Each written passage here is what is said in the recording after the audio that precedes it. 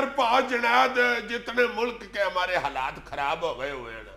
आज मैंने लतीफ खोसा साहब का बयान पढ़ा तो मुझे लगा कि बिल्कुल इन्होंने ठीक कहा है। क्या बयान था? गवर्नर पंजाब लतीफ खोसा ने कहा कि यहाँ भी ईरान की तरह का इनकलाब आना चाहिए। है? नहीं बयान तो बहुत मज़ेदार है लेकिन दिया किसने ये तो जरा देखो। क्या उनकी अभी उम्र छोटी है? सवेरे नाश्ते में वसीली लैग खाते हैं। या उनको कोई स्कूल के इफ्ताह पे बुलाए तो रोना शुरू हो जाते हैं मैं नहीं स्कूल जाना यार मैं ये नहीं कह रहा।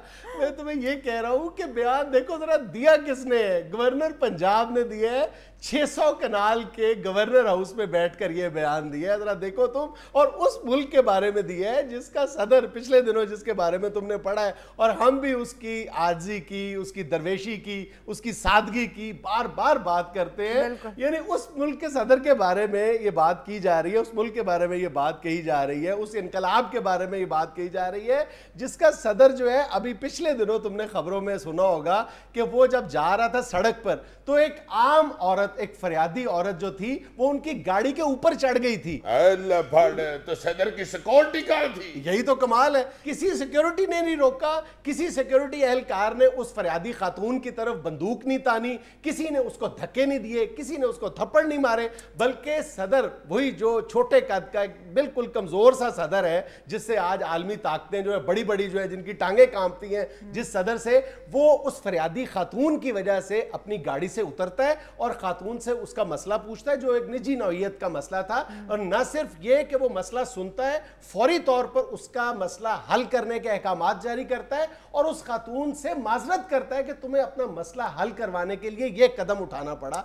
उस मुल्क के बारे में, उस सदर के बारे में हम यानी कहाँ की बातें कहाँ फिट कर देते हैं, ये मेरा ख्याल है सितम जरीफी नहीं तो और क्या है यार हमने एक इनकलाब का नाम सुना हुआ है। और तुम यानी ज़्यादा अफसोस की बात यह है कि वो लोग इनकलाब की बातें करते हैं जो स्टेटस को या मौजूदा निज़ाम के सबसे बड़े बेनिफिशरी हैं। चलो जाने दो यार जान छोड़ दो। शायद खोसा साहब ने मज़ाक किया। यार अगर मज़ाक करना ही था तो किसी और मुल्क के बारे में कर देते किसी और इनकलाब की बात कर देते।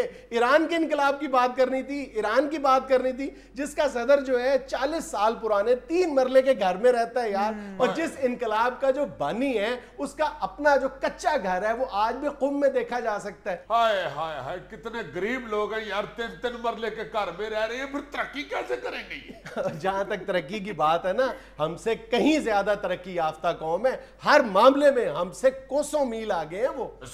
गए हैं उनका सदर तीन मरले में रह रहा है हमारा इधर पटवारी दो दो कनाल में रह रहा है। मेरी बात सुनो उनकी जो ईरानी कौम की जो परचेजिंग पावर है जो कुत खरीद है दुनिया में सत्रहवें नंबर पर है सेवनटीन नंबर पर। और उनकी जो इस वक्त वर्ल्ड इकोनॉमी में जो उनका नंबर है वॉल्यूम के हिसाब से बीसवें नंबर की इकोनॉमी है दुनिया में वो। अच्छा। अच्छा अच्छा अच्छा। हाँ। मुल्क अमीर है वो लोग खुद गरीब है। लोग गरीब नहीं है वहाँ के हुक्मरान जो है वो सादा तसे ज़िंदगी रखने वाले हैं यार।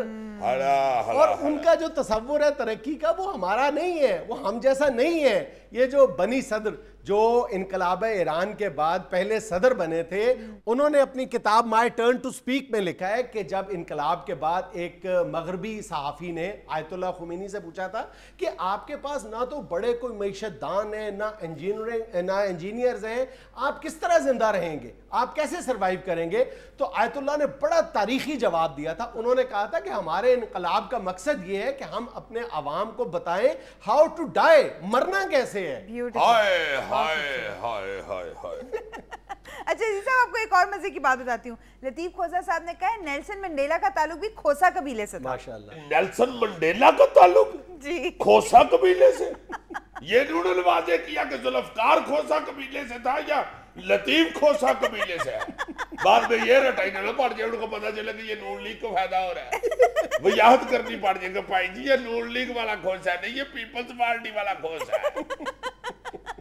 नेल्सन मंडेला का जो हेयर स्टाइल है वो भी रहमान मलक साहब से मिलता है। खोसा साहब से नहीं मिलता? खोसा साहब के कौन से हेयर स्टाइल की बात करते वो तो अब नाई की दुकान के आगे से गुजरे तो नाई अंदर से आवाज़ लगाता है खोसा साहब ज़रूरी नहीं बंदे नु काम ही पवे सलाम दुआ तो ले लिया करो। बंदे नु नौ शो ही कटाने पाई हंदे खोसा साहब का तो हेयर स्टाइल उस प्लाट की तरह का हो गया हुआ।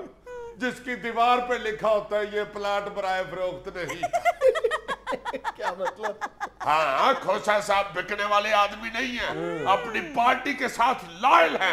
पीपल्स पार्टी के पक्के जियाले हैं। ये तो तुमने बैलेंस किया आखिर में। यहाँ मुझे लेनी है एक छोटी सी कमर्शियल ब्रेक हमारे साथ रहिएगा।